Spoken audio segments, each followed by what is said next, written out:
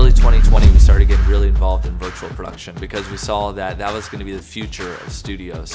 One question that everyone has when they're starting to get into virtual is what type of LEDs should I have for my volume? Um, and I think there's several different manufacturers out there you can look at, but really no LEDs on the market right now are optimized for virtual production. Almost all LEDs are made to see with your eye, not to see with a camera. And so as we were looking at what could we afford, but also what's the best type of LED, we realized we needed to custom manufacture our own ones. And that's where we created Vū panels. These are panels that are not only optimized for virtual production, but they're made to be cost efficient and they're also made so that anyone at any level who's getting it into virtual production can easily build their own volume. You know, it's really important, especially if you're using Unreal Engine and any kind of camera tracking that the latency is very low. Another thing I look at is color accuracy.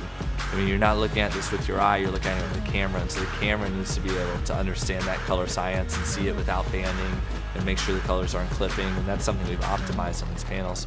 But the third and last thing is ease of use. You know, a lot of people are getting into virtual production. It's the first time stepping into this type of technology.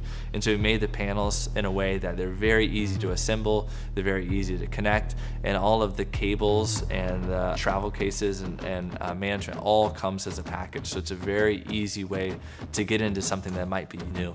We've done the research and the optimization to make this the perfect panel for virtual production.